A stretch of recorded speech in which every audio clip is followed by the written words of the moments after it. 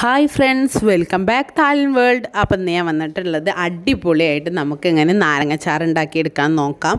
അപ്പം നമുക്ക് ഗൾഫിക്ക് കൊടുത്തേക്കാണെങ്കിലും അതുപോലെ വീട്ടിലാവശ്യത്തിനാണെങ്കിലും ശരി വളരെ ടേസ്റ്റി ആയിട്ട് തന്നെ നമുക്കിത് ഉണ്ടാക്കിയെടുക്കാം. അപ്പം ഞാനിവിടെ ഒരു പാൻ വെച്ച് കൊടുത്തിട്ടുണ്ട്. അതിലോട്ട് പച്ചമുളക് വെളുത്തുള്ളി ഇഞ്ചി ഇത്രയും സാധനങ്ങൾ കട്ട് ചെയ്തിട്ട് ഇട്ട് കൊടുത്തിട്ടുണ്ട്. അത്യാവശ്യം നല്ല ക്വാണ്ടിറ്റി തന്നെ ഇട്ട് കൊടുക്കണം കേട്ടോ. ഇതിന് നമ്മൾ ഒട്ടും ബാക്കിലോട്ടാകാൻ പാടില്ല. അപ്പോൾ ഇതിനാണ് നമ്മുടെ ടേസ്റ്റ് ഇത്രയും സാധനങ്ങളാണ് നമ്മൾ അച്ചാറിന് നല്ല ടേസ്റ്റ് കിട്ടുക. വെളുത്തുള്ളി ഇഞ്ചി പച്ചമുളക് ഇത്രയും സാധനങ്ങൾ നന്നായിട്ട് ഇട്ടിട്ടൊന്ന് വഴറ്റിയെടുക്കാം ഇനി നമുക്ക് ഇതിലോട്ട് കറിവേപ്പില ഒന്ന് കട്ട് ചെയ്തിട്ട് ഇട്ട് കൊടുക്കാം.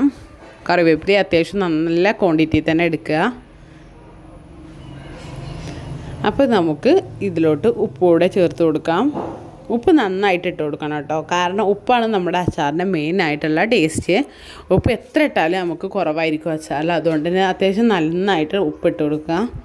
അതുപോലെ കേട് വരില്ല ഉപ്പ് അധികം കുറച്ച് കയറി വിചാരിച്ചിട്ട് അച്ചാർ കേട് വരില്ല അപ്പോൾ അത്യാവശ്യം ഇത് നന്നായിട്ട് വയന്ന് വന്നിട്ടുണ്ട്. ഈ ടൈമിൽ നമുക്കിത് നന്നായിട്ടൊന്ന് വയറ്റിയെടുക്കാറാണ് ഞാൻ ഇട്ട് കൊടുക്കുന്നത്.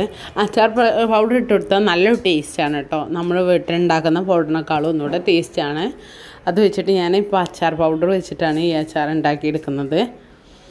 നമുക്കൊരു ഒന്നര ടേബിൾ സ്പൂൺ അച്ചാർ പൊടി ഇതിലോട്ട് ഇട്ട് കൊടുക്കാം. അപ്പോൾ ഞാൻ ഇവിടെ എടുത്തിട്ടുള്ള നാരങ്ങ ഏകദേശം വൺ കെ ജിന്റെ മേലായിട്ട് എടുത്തിട്ടുണ്ട്.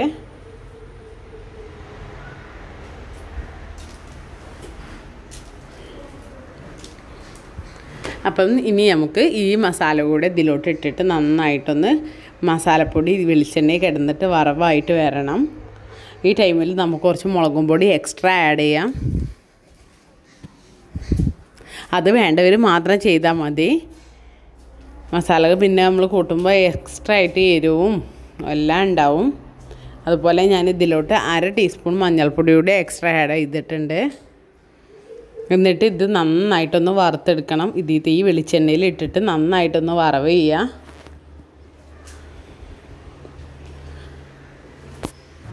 അങ്ങനെ ഏകദേശം ഞാനിവിടെ ഒരു അഞ്ച് മിനിറ്റ് ആറ് മിനിറ്റ് നന്നായിട്ട് വറുത്ത് ഇതെടുത്തിട്ടുണ്ട്.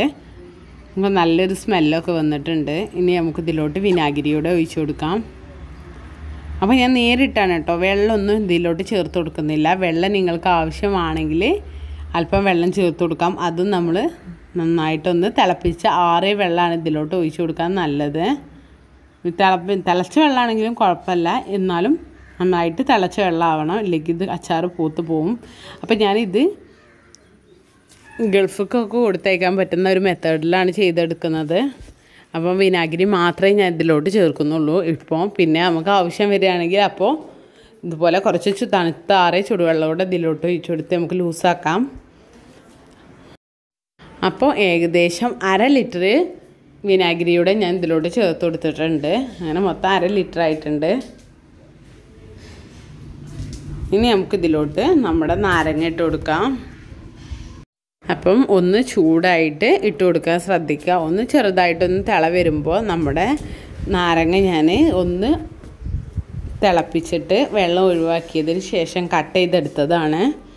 അപ്പോൾ ഇങ്ങനെ നാരങ്ങ ഇട്ട് കൊടുത്താൽ വേഗം ആയി കിട്ടും. കയ്പ്പിനും കുറവുണ്ടാവും.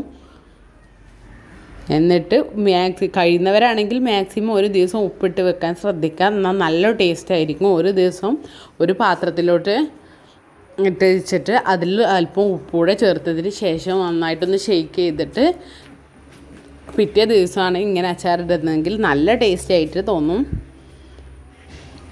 ഒട്ടും തന്നെ കയ്പുണ്ടാവില്ല.